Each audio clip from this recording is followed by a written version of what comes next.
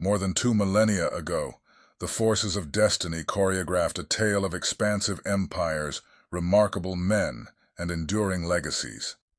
A tale precariously perched on the scales of time, shifting the balance between dawn and dusk, dawn for some, dusk for others.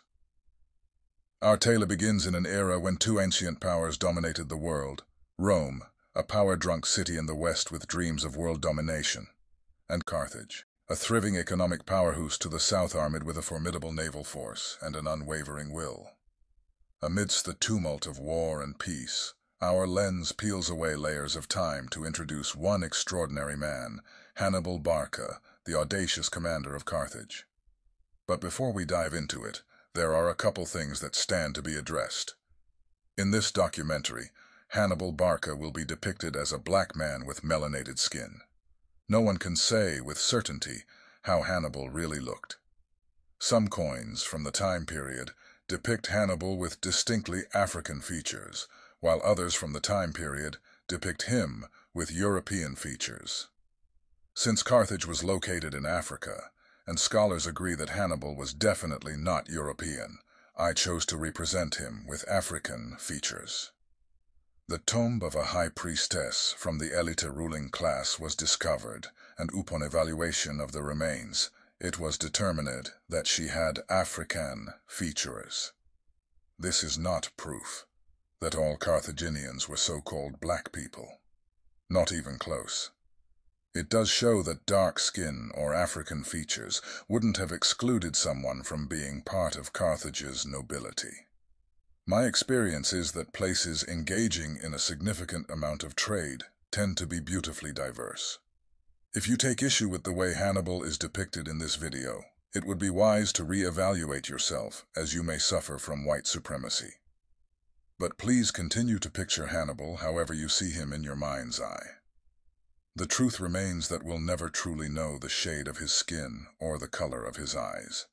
We'll never get to gaze upon a definitive image of one of the most influential military commanders history has ever known. His campaigns against Rome, however, are legendary.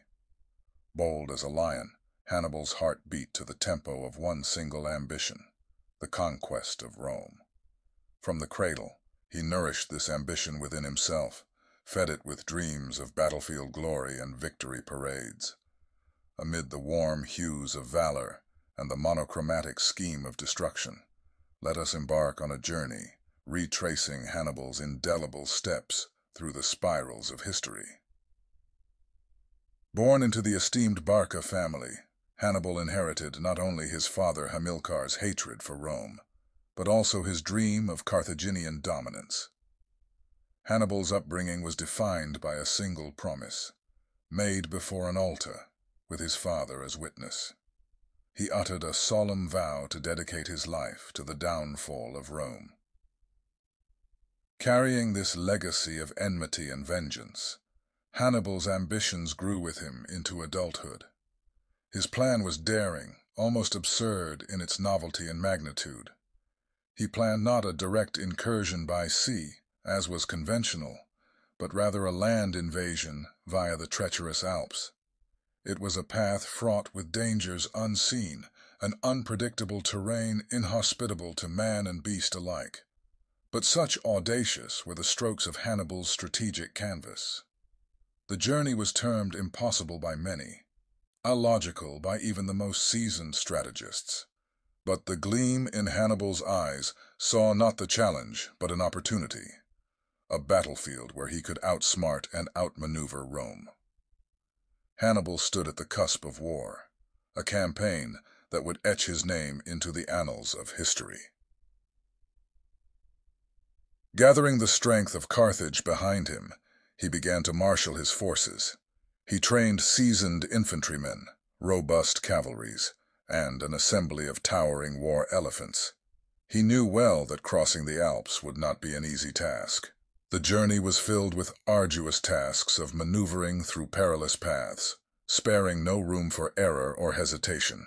Every phase was organized meticulously, from supplies to medical care. No stone was left unturned. Alliances were brokered to assure steady supply routes and reinforcements on the long march to Rome. His officers motivated them with speeches inspiring camaraderie, unity, and resolve. Against the smoldering sunsets of Carthage, the great army prepared for one of the most daring military campaigns in history. Day by day, they marched closer to their destination and their destiny. Yet their toughest test lay ahead, to cross the god-forsaken peaks of the mighty Alps, a natural fortress that kept Rome safe from the land-based invasions of the north. Little did they know that the hardest part of their journey had only just begun. The passage through the Alps, a voyage framed by a wall of unforgiving white and blue, was a daunting endeavor. Engineered by nature to be a fortress, the formidable mountain range presented an extreme test of human endurance.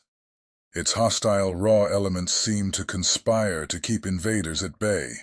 Winds whipped through every crevice, bringing stinging snow and ice, turning treacherous paths into slippery trails of uncertainty. Hazardous conditions were exacerbated by unexpected landslides, engulfing men and beasts in an avalanche of remorseless stone and snow. Each step brought with it a new challenge, a fresh threat. But nature's wrath was not the only antagonist on the road to Rome. Passing through these chilling heights meant crossing the territories of tribes not amicable to Carthage or its ambitious leader. Hostile tribes roamed these lands, notorious for their seething hatred of any foreign trespasser. These tribes unexpectedly ambushed Hannibal's already strained forces, adding to the collateral damage of their perilous journey through the precipitous mountain trails. Their exploits in this demonic cold offered a chilling spectacle, a sinister dance of survival against a backdrop of the vast, unfeeling mountains, Cape. And yet, they pressed on, battered and bruised, certain that yielding to the Alps meant dooming Carthage's quest for glory. As they threaded their path across rugged landscapes, it became increasingly clear that the journey was far more than a physical trek. It was a test of mettle, a crucible that would forge leaders of ordinary men. At the helm of this journey was Hannibal Barca, a man whose strength laid not in his physical prowess, but, more markedly, in the strategic finesse of his mind and his unparalleled ability to inspire his men. With each inhospitable turn of the mountain trail, with each unforeseen adversity, Hannibal was there, planning, guiding, instilling hope. His actions conveyed more than mere commands from a superior officer. They were the reflections of his innovative military mind. Even when his war elephants, the famed shock troops of the Carthaginian army struggled against the harsh terrains, Hannibal found a way to guide them through. He sculpted out solutions with unwavering determination. He led by the virtue of empathy, resilience, and strategic acumen. His leadership was instrumental in ensuring not just the survival of his men, but also their relentless will to conquer. They withstood extreme weather, deadly landslides, and hostile tribal forces under his guidance. Fierce, tenacious, and unyieldingly optimistic, Hannibal proved himself to be the linchpin holding together an expedition that teetered on the edge of doom every moment. Every bend they made it past was evidence of his exemplary leadership. Under the shadow of Hannibal's leadership, the hope of Carthaginians flourished, driving them closer towards their monumental goal, Rome. In one of history's most extraordinary tales of perseverance, Hannibal's army miraculously survived their treacherous journey through the Alps. Each step forward had been a dance with death, with the chilling wind singing tales of doom. With quiet strength, they stared unflinchingly into the eyes of adversity. The weary soldiers, guided by their stalwart leader, faced the endless hardships that the treacherous landscape offered. Battered and bruised, nerves frayed from cold and fear, they withstood nature's barrage. Yet there was no retreat, no surrender, only a collective iron will to advance. Frankly, survival seemed improbable. Victory a distant dream blurred under the heavy snowfall. But there it was, an extraordinary spectacle for all who beheld it. Hannibal's soldiers descending from the freezing heights, their silhouettes against the white, an unspoken testament of their incredible tenacity. One can only imagine the joy coursing through their veins as they left behind the mountains that had challenged their very existence. Emerging from the snow-clad mountains, they were a testament to their leaders' strategic brilliance and their own resilient spirit. Having braved the onslaught of nature's fury and the lurking shadows of hidden enemies, they prepared to face their ultimate adversary. Before them lay the plains of Italy. Just within reach was Rome. Conquest was within sight. Beyond the unforgiving heights of the white-capped Alps, nestled in the sun-kissed valleys of the Italian plains, lies the next stage of our story. Hannibal's throng of fiercely loyal soldiers are amassed, their warrior spirits hardened by the biting cold they've survived. Their hearts echo with anticipation, beating to rhythms of war drums. Each gaze is fixed on one goal, one city, Rome. The landscape once a picture of peace, now a precarious prelude to battle. A storm brews, a deluge poised to engulf Rome in a wave that bears the wrath of Carthage, forged and unyielding in the crucible of their journey through the Alps. The soldiers, each a darkened silhouette against the crimson hue of dawn, are a representation of what they have endured. Armors shine, like their resolve, undimmed by hardships faced. Weapons clang, akin to their unbroken spirits, eager for retribution. Victory seems within their grasp. Their eyes mirror unwavering faith in their commander. Not a shred of doubt lingers they have braved the harshest of elements, human and nature alike. Rome is just another adversary, to be defeated and dominated. Rome poses its own challenges nevertheless, superior numbers, home ground advantage, and fortified defenses. Hannibal inspects his troops, determination etched onto his weathered face. In his eyes, each soldier sees a reflection of themselves, battle-worn but unbowed. Their moment of reckoning nears with each beat of the war drums, as the sun sets on the eve of what promises to be an epic conflict. The day of reckoning descends upon the two mighty powers on the bloody plains of Cannae. The sun rises, casting eerie light over two armies that would redefine the course of history. Hannibal, the ingenious Carthaginian, against Rome's numerical strength a hailed empire on the brink of a humiliating debacle. Despite being vastly outnumbered, Hannibal's resolve remained steady, his daring tactical brilliance taking center stage. He deploys an audacious, high-risk crescent formation. It was a military tactic unheard of, where he appears as weak at the center and strong on the flanks, luring the Romans into a deadly trap. As the Romans charge with devastating ferocity, they find themselves encased in a vice-like grip. Disorientated and lured deep into the crescent trap, their numerical supremacy suddenly becomes their Achilles' heel. Revealing his masterstroke, Hannibal launches a full-scale attack from the sides and rear. His cavalry charges from the flanks while infantry forces swarm in from behind, locking the Romans in a constricting snare. In a terrifying spectacle of double envelopment, the Romans are trapped and decimated, their forces fragmented, their spirit crushed. A bloodied canvas of brave warriors falling like dominoes lay scattered across Cannae's harsh terrain. And Hannibal, the artist orchestrating this masterpiece of maneuvers, stands tall amid the chaos. It is indeed his magnum opus, a testament to his military prowess and strategic genius. Against all expectations, Hannibal secures an unprecedented victory at Cannae, changing the face of warfare with his ruthlessness and intellect. The Battle of Cannae was not simply another historical war, but a saga of courage, wits, and innovation that resonates in military schools and amongst strategists even today. The dust of Cannae had barely settled when the scope of the Carthaginian victory started to take shape.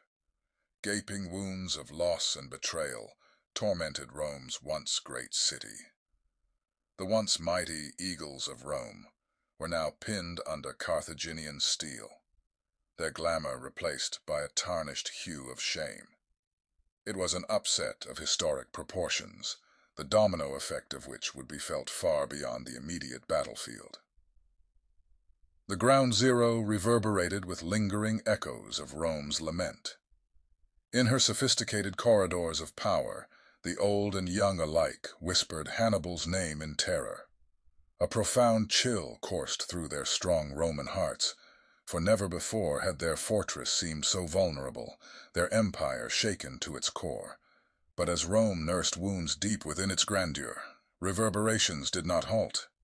Instead, they resonate across the Mediterranean like ripples on a pond, pulling at the loyalties once firmly in the Roman grip. Names of distant kingdoms echoed through Carthaginian camps, newfound allies, turning heads to this rising power. However, the sublime victory evoked an unprecedented change. A change not just limited within geopolitical boundaries or political loyalties, but subtly etched within the psyche of societies, histories, and cultures that would follow. This was not just a meeting of massive armies. It was the dramatic confrontation of two civilizations, a seismic cultural shift that has shaped our world. The smoke of battle clears over the bloody fields of Cannae. Hannibal, his face etched with the harsh lines of victory and loss, stands amidst his men. His sharp gaze flits towards Rome, a city pulsating with wealth, grandeur, and trembling leaders. The golden opportunity is within grasp, the gates to Rome metaphorically open. The seeds of conquest have been sown and watered with Roman blood. Yet that fatal step towards the heart of his enemies stays unclaimed. Was it timidity or wisdom that held his sword? Was he being cautious, aware of Rome's fortified center, or was the integral Carthaginian political machinery at work? Perhaps it was the supply lines, stretched thin by miles and miles of hostile terrain, or possibly the dissolution of his own ranks, strained by constant battles and the chill of an Italian winter. Historical pundits have dissected this enigmatic moment from every angle. In spite of an unprecedented victory, Hannibal didn't advance on Rome. This intricate dance of military strategy versus political maneuvering leaves us with more questions than answers. His missed opportunity casts a lengthy shadow on the sands of historical speculation. Amid the tumult of war, a beacon brightens in Rome. Meet Scipio Africanus, a young patrician noble who steps onto Rome's grand stage not as a pawn, but as a formidable player. The son of a successful general, Scipio bears the mantle of his forebears with an air of destined greatness. He's seen the Roman army punished, seen his country tremble, and now he's determined to shift the tide. A student of warfare, Scipio studies Hannibal's victories meticulously, his strategic mind attempting to decipher the Carthaginian maverick's genius. There's something stirring within him, a growing defiance rooted not in bravado, but calculated courage.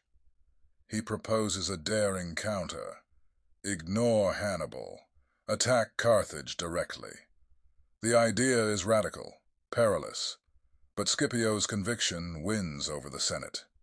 Empowered, he departs Rome for North Africa.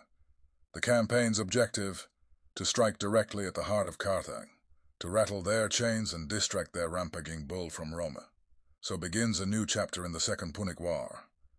Hannibal continues to ravage Italy's heartland, but a newer, fiercer foe looms in his homeland. Scipio proves himself not just another Roman general, but an adversary worthy of Hannibal.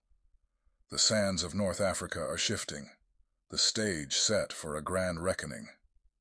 In the shifting sands of the political landscape, the tide turns against Carthage, as Hannibal prepares for another decisive encounter against Rome on its home soil, his homeland calls.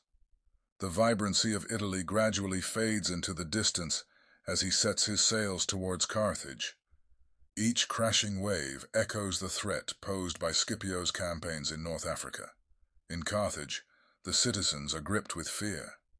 The sight of advancing Roman forces has them teetering on the precipice of desperation. Hannibal's enemies at home have been pursued, his recall from Italy orchestrated. His presences, they believe, will rebalance power once more in their favor. Hannibal faces no easy choices. To leave Italy means to abandon his lifelong ambition. To ignore his homeland's call could mean abandoning his people to a ruthless enemy. But a commander's duty is to his people. Torn between his ambition to conquer Rome and his responsibility towards Carthage, Hannibal takes one last long look at the fading Italian shoreline. So ends the Italian chapter of Hannibal's story. But across the Mediterranean, the respective fates of Rome and Carthage await the decisive battle that looms. This is merely a tactical retreat. For the legendary Hannibal, every end is just another beginning. As the crimson glow of the new dawn breaks over the beleaguered horizon, Hannibal, the lion-hearted commander, returns to his homeland. The stakes are now perilously high, for Hannibal is no longer a marauder in the distant lands, but the last glimmer of hope for his beleaguered nation standing on the brink of annihilation. The sands of Africa sprawl beneath him as a sacred battlefield, waiting to host the spectacular endgame of a conflict that has spanned decades. Against him stands Scipio Africanus, Rome's prodigious general, ready to pen the final chapter of this prolonged warfare. While not the personal victory that Hannibal had dreamt of, standing at the apex of this titanic clash, he was still an image of relentless determination, defiance personified against Rome's imperial tyranny.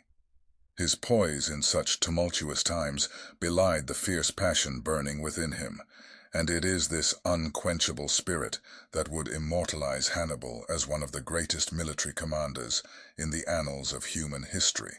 However, destiny had its course, and despite his strategic brilliance and tenacity, the Battle of Zama saw Hannibal face his ultimate defeat. His prowess, though remarkable, proved insufficient against the overwhelming might of Rome. As we delve deeper into the military confrontation, we witness firsthand the relentless vengeance of Rome against a city that dared to defy it.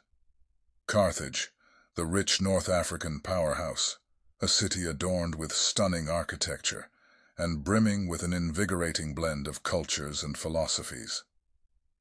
This jewel of the Mediterranean, known for its flourishing marketplaces, libraries echoing with intellectual debates, and harbors bustling with prosperity, was callously razed to the ground by the Roman soldiers. Beneath the vindictive wrath of Rome, Carthage's proud edifices were reduced to ashes, its people massacred or enslaved, and its legacy cruelly exterminated. A civilization that once embodied the epitome of human progress met its disgraceful demise, an irredeemable loss to human history. The destruction of Carthage stands as a stark reminder of the devastating consequences of war, where bitterness overpowers empathy and vengeance supersedes justice. The sun sets on the once mighty Hannibal, as he is forced into a life of solitary exile. Even in this wilderness, stripped of his power and army, he remains the epitome of dignity and charisma. Faced with capture by his lifelong enemies, he chose to take his life than to kneel to Rome. His suicide swings the pendulum from a pending humiliation to a dramatic, albeit tragic, end. This act reflects his unyielding spirit, choosing the sovereignty of death over Rome's shackles. Yet, death isn't the end of Hannibal, for his legacy lives on. His innovative military strategies continue to inspire modern warfare tactics. The tale of his grit and gumption still echo in the narratives of battles, not merely as chronicles of victory and defeat, but as lessons on resilience, leadership, and strategy. To Date, he is a beacon of courage, that compels admiration and respect. Through his life, triumphs and tragedies, Hannibal remains eternal, a demigod locked in time, still wagging his war against Rome, his narrative still making hearts pound and spirits rise in awe. Hannibal, the mighty Carthaginian general, doesn't merely occupy a place in history. His name echoes with an ineffaceable vigor through the long corridors of time. Hannibal Barca's genius lay not just in his incredible strategic military decisions, but also in his intuitive understanding of human nature. See how he considered every possible factor, the landscape, the weather, the state of his own soldiers, the psychology of the enemy. Every move was a culmination of meticulous planning and audacious execution. Examine his tactical maneuver at Cannae an example that truly exhibits the depth of his skill and precision. He had studied his enemy well, understood the Roman psychology, and exploited it to his advantage with sheer brilliance. His double envelopment tactic, where he successfully encircled a larger Roman force, is lauded as a masterpiece of military strategy, even today. Yet the strength of Hannibal was not limited to planning battles. His charisma, courage, and endurance reverberated with his soldiers, inspiring loyalty that knew no bounds. They followed him through treacherous terrains, hostile territories, and under extreme weather conditions with unwavering faith. This was invariably because they saw their leader lead from the front, sharing every hardship, every risk with them. Remembering Hannibal's victories reminds us of his genius as a leader and as a strategist. However, remembering his defeats reminds us of the undying spirit of a man who, until his very last breath, stood as a beacon of unwavering resilience and strength. Historical outcomes are often a pivot point, swinging the pendulum of time in vastly different directions. Imagine then, if Hannibal a man known for his strategic genius and unmatched leadership skills, had indeed brought Rome to its knees. How might the globe have taken shape under Carthaginian hegemony? Without the powerful influences and expansion of the Roman Empire, would the brilliance of Greek culture have spread as widely or as quickly? Perhaps Latin wouldn't have established itself as the linguistic ancestor of numerous modern languages the economic landscape might have witnessed a dramatic shift, with Carthage's superior maritime prowess leading to an accelerated growth in worldwide trade and commerce. The pages of history might have revered Hannibal not just as Rome's challenger, but as the architect of a new world order. From a socio-political perspective, the known dynamics of conquest and administration might have altered considerably. Perhaps the concept of democracy would have been championed by the Carthaginians instead of the Greeks. These suggestive scenarios bridge the historical past with speculative alternate realities, enriching our understanding while broadening the horizons of historical inquiry. The story of Hannibal thus moves beyond one man's military genius and becomes an exploration of conjectures that could have changed the face of civilization itself. Hannibal Barca a name that still reverberates in the echoes of history. Born into a world dominated by two mighty empires, his tale is one of defiance and undying determination. The coming of age of a boy chasing his father's dreams, pledging an oath of blood and honor against Rome, eventually sprouting into one of the most daunting nightmares Rome ever faced. Through his daring ambition and audacious tactics, he defied all odds and conventional norms, leading an enormous army over the treacherous terrain of the Alps, straight to the doorstep of Rome. Hannibal's military prowess evoked from his ability to bend adversity into opportunity, turning every roadblock into a stepping stone. Inspiring loyalty, forging warriors from men, and courage from desperation. His battles displayed an exemplar of superior strategies that command respect till date. His victories opened up possibilities, creating ripples far beyond his times. Yet war is the cruelest of all arbitrators. Its judgment left Hannibal defeated, not on the battlefield, but through the intricacies of politics, his illustrious career overshadowed by a haunting end in foreign lands. But this tragic fall from grace paled in comparison with the light of his enduring legacy. Despite his fate, Hannibal's spirit never truly was conquered. His saga was not that of conquests, but of an eternal perseverance. Today, as we trace his footprints across the annals of time, we ask ourselves, is victory just the conquest of lands? Or is it about staking a claim in the memories of posterity? Every contour of his fate wound along these contradicting currents. As Rome's African nightmare, Hannibal emerged as an icon that shook the very foundations of Roman invincibility. He was not just a man crossing mountains, but a mind transcending realities. If you enjoyed this video and gained any value from it, please like this video, as it really helps spread awareness of this great story. It really helps the channel as well. Also, don't forget to subscribe to the channel for more great stories of amazing people and majestic lands. Thanks for watching.